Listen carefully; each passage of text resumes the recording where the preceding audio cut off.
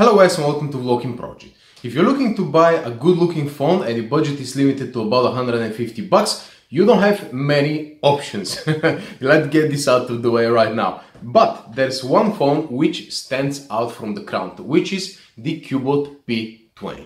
Excellent screen, very good color schemes and 4000 milliamp hours of battery. So is that the right phone for you? Let's find out.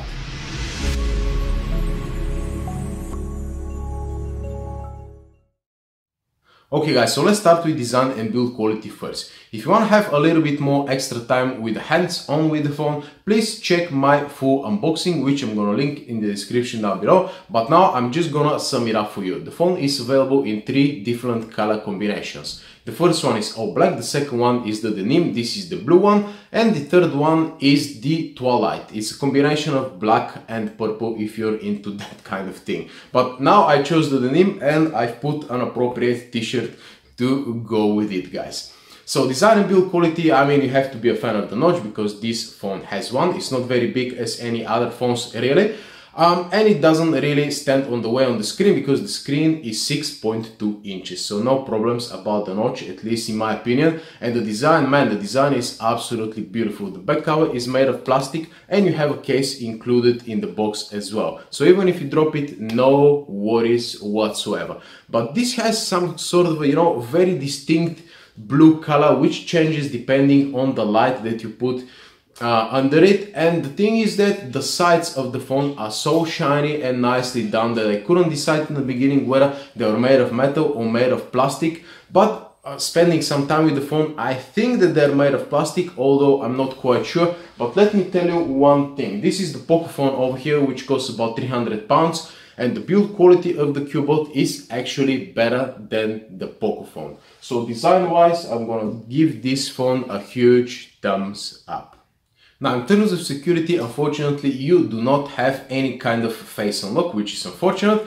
but you have a good fingerprint reader at the back, which is positioned just where your fingerprint lies over here, guys. It's not the fastest one in the world, but it definitely gets the job done. Okay guys, so let's talk about the screen a little bit. 6.2 inch 1080p plus LCD IPS panel, of course with the notch and notification LED at the top over here. But man, this screen is absolutely beautiful. Yes, I mean you don't have any you know, options to tweak the screen colors as well as saturation, but it's perfectly calibrated and I can easily say, pay attention over here. This screen is better than the Pocophone, which costs 300 pounds and the Nubia Red Magic which costs 400 pounds guys. You don't believe me? Check this one out.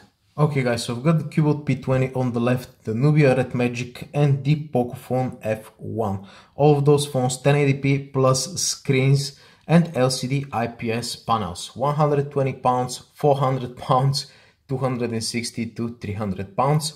And let's turn the lights down and see what's the difference, especially in the black levels. Okay, so that's the ultimate black test now, guys. As you can see that the deeper blacks are on the Cubot P20 over here, you can see that the black magic is absolutely ridiculous in the IPS glow over here.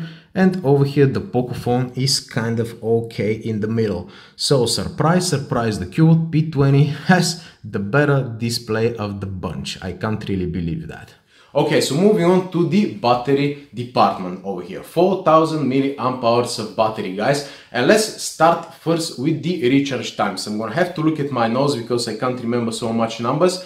Now, 30 minutes is gonna give you 22% of charge, 1 hour 46%, 2 hours 89%, but for a full charge you need 3 hours with this phone guys, as well as the charging port is micro USB as well. Now, what about the battery life? Let's have a look at my screenshots now. Now, the battery life really depends on your usage, guys. Check this out, 5 hours and 20 minutes Wi-Fi mostly over here.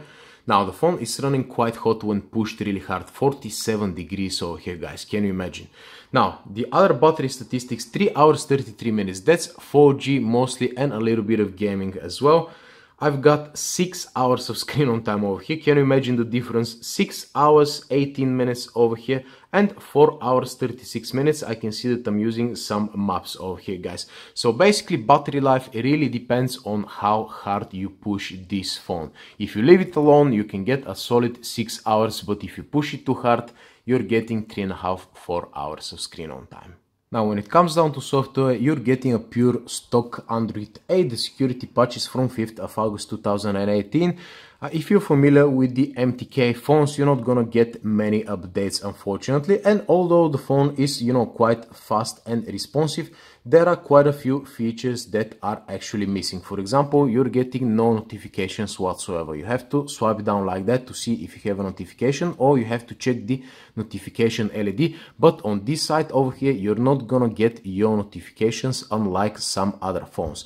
As well as you don't have any you know notch settings whatsoever so basically no matter what you do you're not getting a full screen experience every time. For example, when you're gaming or watching a video, this part is cut off over here and you're getting nothing over here, guys. So that's a bummer, as well as you don't have any, you know, navigation uh, options over here for the system UI. Now, I've changed the look of these buttons and I've changed their order um, with a specific applications. I've got a video covering that particular issue, but many phones actually don't have this setting whatsoever, especially the stock Android ones. The other thing which is missing from that build is the percentage of the battery over here. You just don't get it guys. You have to swipe down not only once but twice in order to see how much battery life you've got left. Why? Now it's funny thing to mention that this phone comes with 64 gigs of storage with 4 gigabytes of RAM, the same as the Google Pixel 3 which costs about a thousand pounds. Of course the performance is not the same, you can see my scores over here on the Geekbench and when we come down to gaming now guys. You can see that on the Kazja I'm getting only 18 FPS and even on Epic Citadel I'm getting 37.9 FPS which is relatively low. And unfortunately that translates into the gaming as well which is you know barely acceptable guys now, a good example of the gaming will be Angry Birds. And you can see what I was talking about, that you're not getting a full screen display. You have this curvature over here, but on this side is just cut off like that. And you can see that the display drivers which go along the screen uh, which go underneath the notch as well are kind of a little bit in the way guys. So let me just load up this level and show you what I'm talking about that the gaming is barely acceptable. It's quite slow to load up pretty much anything. You can see how much time it takes for this level to load guys. And you can see some of the luck over here. Let me eject some of the birds you can see that it doesn't really run that smooth. I mean, I'm running 60 FPS at the moment. It's really not terrible, but it's not good either. So gaming performance, yeah, it's not very good, unfortunately, guys. And the phone heats up quite a lot over here. You can, I mean, I've just started the game and you can see that the phone is actually heating up already over here, which is not a good sign, really. Okay guys, so moving on to the audio department. You do have a 3.5mm jack, which sounds okay. Nothing spectacular, but definitely, you know, a little bit, probably a little bit better than what you might expect from a 120 pound phone. So headphone jack, no problems with that. However, the speaker at the bottom is a mono speaker and it sounds, uh, well, not very good. Let's have a listen. Okay, so let's take a listen of that speaker, guys. Maximum volume over here. One, two, three. Yep, if you can clear my voice clearly, which means that the speaker is really not doing a great job over here. It's very easily blockable over here, guys. And you can see that it's not allowed at all, unfortunately. Okay guys, and that brings me to the final department, which is the cameras. At the front you've got a 13 megapixel camera and the maximum video resolution is unfortunately 720p only. You don't have any sort of stabilization and the video format is 3GP which you know I've seen worse but this is not good at all guys. Absolutely no details. And when it comes down to the photos of the front facing camera unfortunately uh, it's gonna be like one in five photos which is going to be useful in perfect lighting conditions. So the front facing camera just forget about it. So what about the rear cameras? Cubot is claiming that they've put a Samsung sensor 20 megapixel one plus 2 megapixel depth sensor for those bokeh photos. Now needless to say 2 megapixel for bokeh doesn't really look good at all and again the video is just 1080p, no stabilization and 3GP which has a killer compression guys so basically you're getting no detail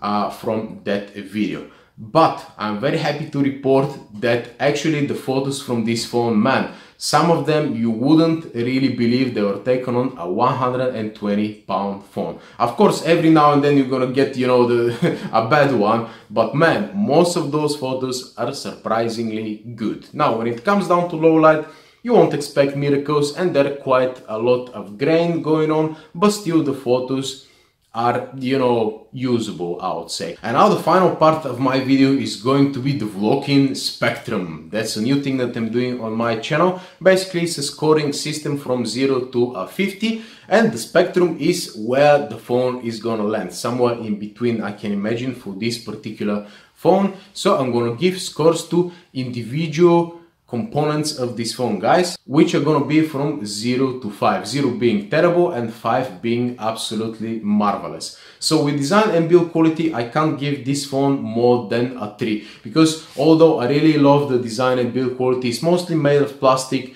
and the bottom chin is quite big and you have a notch as well. So design and build quality 3 out of 5 the next category is security, which includes the fingerprint reader and face unlock. And since you don't have face unlock and the fingerprint reader is kind of average, it gets 2 out of 5.